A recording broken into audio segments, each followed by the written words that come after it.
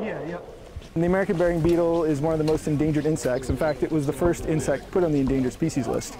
Uh, and so it used to be from the east coast all the way out to the Rocky Mountains. And now there's really only three good populations. And there's been no uh, sightings in Ohio since 1974.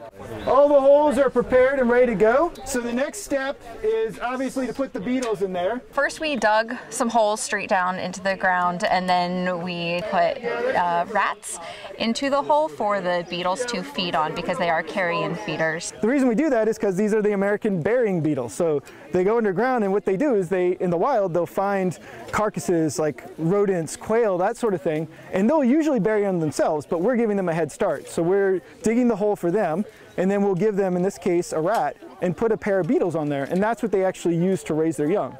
So they'll lay their eggs in the rat, the larvae will hatch, and it's like a live-in, it's like a live-in Golden Corral, you know, a live-in buffet.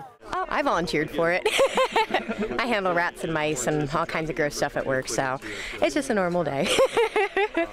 so we are raising them and then releasing them so that they can breed and make little baby American burying beetles. a lot of people only identify or tend to identify with the warm and fuzzies like animals with backbones and uh, that have fur, feathers, and but really the majority of life on this planet in terms of diversity and, and biomass is going to be arthropods. Uh, we estimate that at least three quarters, probably more of all known species are insects, uh, with a third of those being beetles alone.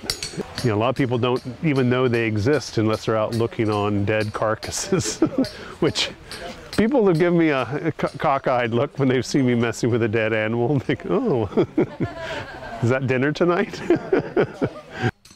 So in two weeks, we'll take about, go to about like 10 to 20% of these holes and dig them up gently and see if there are little larvae in there. And that's when there should be, two weeks later, there should be larvae. And that'll give us an idea of how successful the, this release has been.